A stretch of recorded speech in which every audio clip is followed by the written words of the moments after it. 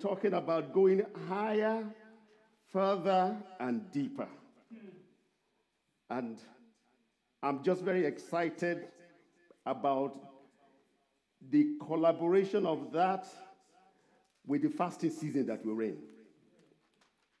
What I want to do is to look at just a segment of that because it's a bit of a mouthful.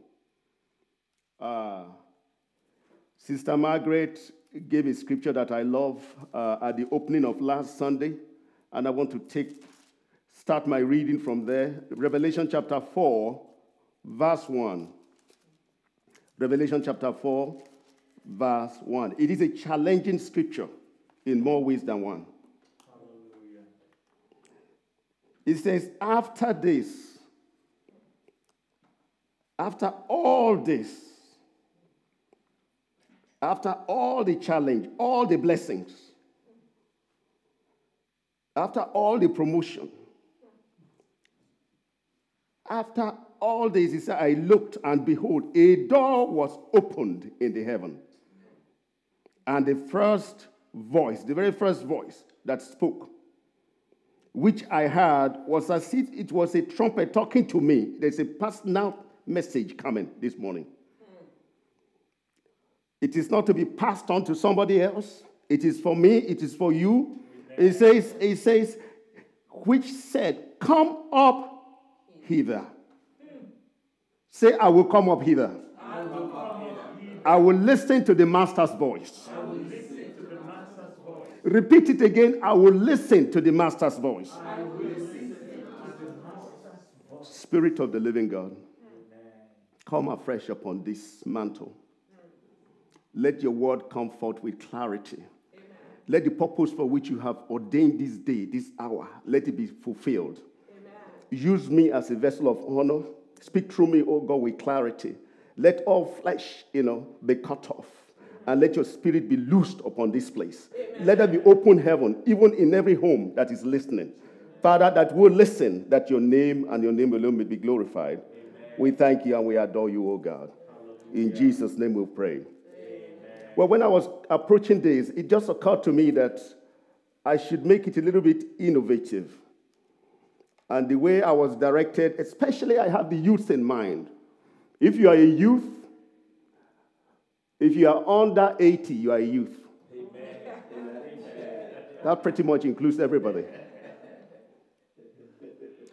And I had this analogy come into my spirit when I was looking at this topic about going higher for Christ.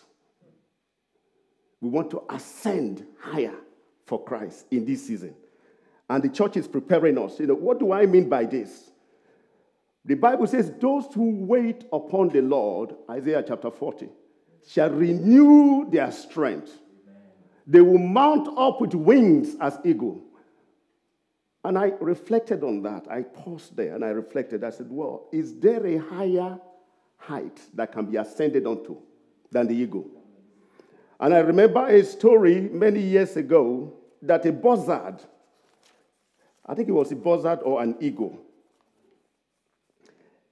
came into the aeroplane, the, the wings of the aeroplane, and got stuck there and got killed. And the aeroplane was flying at around 30,000 feet above sea level. And they began to wonder what sort of bird would be able to be at that level. And they came to the, to the conclusion that it must be an eagle. Eagle will fly at, at 10,000 feet, as far as I know. So, so when we're talking about flying high, it's quite high for an eagle. But I believe that the Lord is challenging us this morning. Like he did to that man that said, I have done everything, Lord. What must I still do? It says, sell everything. Sell everything. That's another level. Amen? Amen. Does anybody believe that's another level? Amen. Sell your house, sell your car, sell everything. You know, sell your wardrobe in order to ascend higher. And the, the young man wept because it's too much of a price to pay. So there's always that higher level. And I will challenge you this hour that we look unto Jesus for strength in those moments. And I began to search and began to look, and I found something about the rocket. Where I will take my analogy from this morning. The rocket is a multi parted aircraft, space vehicle, you might call it, that has three essential parts to it. It has a nose cone, which is where the payload system is. The load, the satellite, or whatever is carrying goes into that. If it's a human being that's going to space, they sit there. And then it has also what you call the propulsion system. This is the system that's responsible for the lift. That's where all the fuel goes in. That's where all the power goes in. That's where all the, the, the, the force, I call it the capacity, the capability of the aircraft. That is where it comes from. Amen. And then you have also, in between those two, you have what you call the guidance system.